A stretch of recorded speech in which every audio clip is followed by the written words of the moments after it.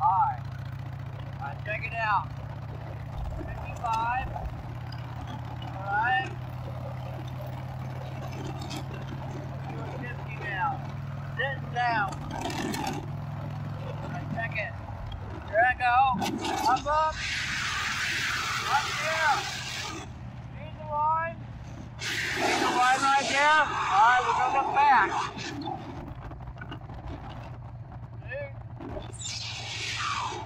Yeah, there's a turn right there, look. I check this turn out.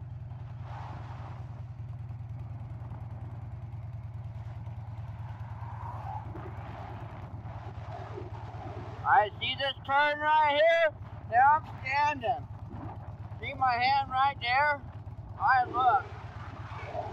Does it look like I'm not in control of this vehicle? I know, I'm just idling right now. Just idling down the road. Making this turn. Standing, see? Here I am.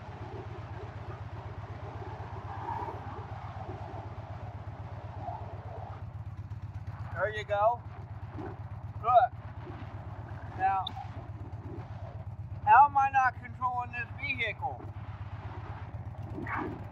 I'm turning around looking behind me. Why? Because I can see that there and I can see that there. Now, now look. How fast am I going? Let's look. Did you get a good look at that? Yeah, about 20 something miles an hour. So look, I can cruise on this road here about 27 miles an hour. Now, you know, the speed limit in Hamilton is about 25, you know. Uh, when you start to get out, out town, it's about 35. It starts to increase. So, so when I uh, cross the solid yellow line like that to you gotta you gotta take in consideration what it's like for the motorcycle and not like it is for your car. There's that solid yellow line. Now you can look clearly ahead and see that there's nothing coming. And so you can quickly dip in that turn lane and pass two cars that are going a bit slow without really interfering or harming anybody. Hey, Weston, what's up? Oh, you look sore, baby. Would you see that? Alright, so now how long have I been riding, standing up, talking to you, staying in between the lines in my lane and shit? Man, it's awesome. I'm, I'm going down the Painted Rock. This is, uh, I think 473. Look. Woo! Oh, whose attention I getting out here, Miss Ray?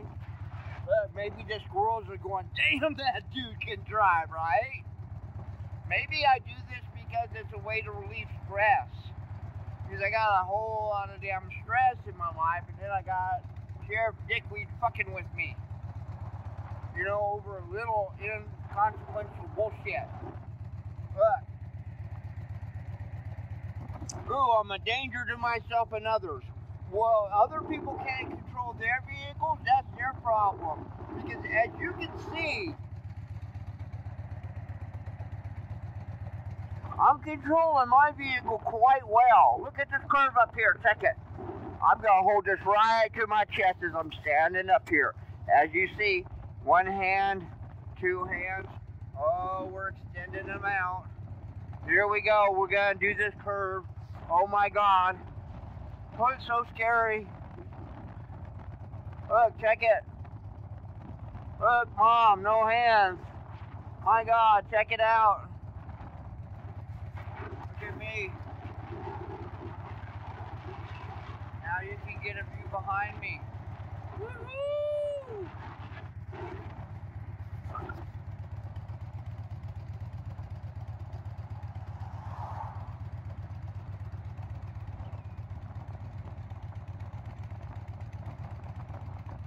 It's not that hard.